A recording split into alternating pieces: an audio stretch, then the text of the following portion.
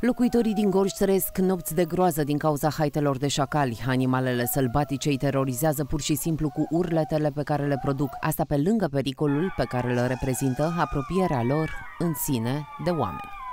În satul Dâmbova a atacat o proprietate, oamenii o confundă cu vulpe, ei sar gardul foarte ușor.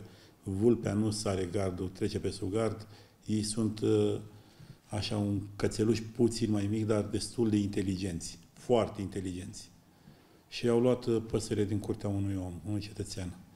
În rest, în trecut a mai fost un cetățean atacat-o de un șacal, dar i atacase de fapt cățelușul și omul a luat cățelul în brațe și a sărit după cățel și l-a mușcat. Foarte multe gospodării au fost atacate fiind produse pagube uriașe. Vânătorii nu pot face nimic pentru stăpânirea acestor animale sălbatice și asta pentru că vânatul pe timpul nopții este interzis, iar ziua aceste animale sunt foarte greu de capturat. E o specie care ne fac uh, și nouă probleme, dar uh, noi emitem autorizație de vânătoare la membrii vânători și membrii vânători organizează vânători în grup restrâns uh, la pândă și dibuit sau cu grupa de vânătoare la goană, dar probleme sunt fiindcă ei umblă mai mult noaptea. Ori vânătoarea pe timp de noapte deocamdată, deocamdată e interzis.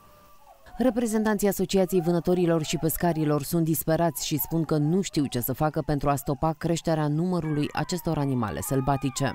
Este o specie invazivă, de vreo câțiva ani de zile a invadat toate fondurile cinegetice, toate zonele, până în zona aproape, să spun, zona alpină,